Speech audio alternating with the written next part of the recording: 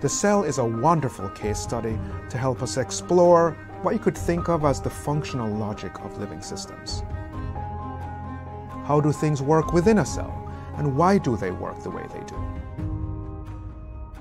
Join us as we explore the extraordinary and wonderfully dynamic world of the cell.